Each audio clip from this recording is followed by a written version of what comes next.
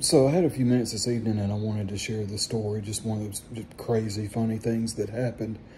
And it, it was several months ago. I was on the road working and I'd stopped at a store to, to get a, something to drink and get a snack.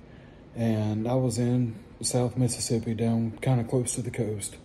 And I'm standing in line. I've got my drink, I've got my snack, and the place is kind of busy.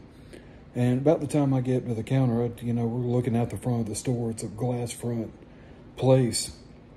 And this car comes swerving into the parking lot. Luckily doesn't hit anything, swerves up to a gas tank.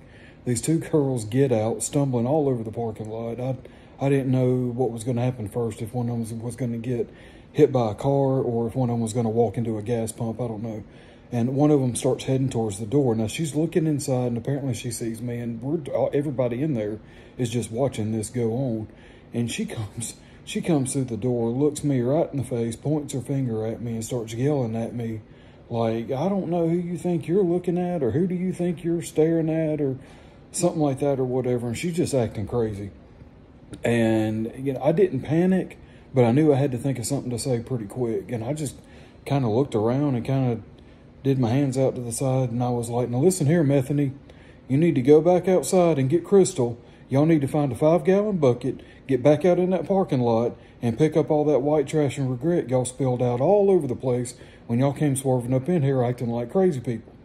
And, and leave these good Christian people in here alone. They're just in here trying to buy them something to drink and a snack. Well, I had already paid for all my stuff, and about the time I finished saying that, she's looking at me like she's trying to real like she's trying to process what I just said. And and like she's trying to figure out where to get a five gallon bucket to go out and start cleaning up after herself. And I got out of there. She got you know she quickly got distracted by something else. And and I got out of there. And and luckily that was the end of that one. But yeah I guess you just had to have been there.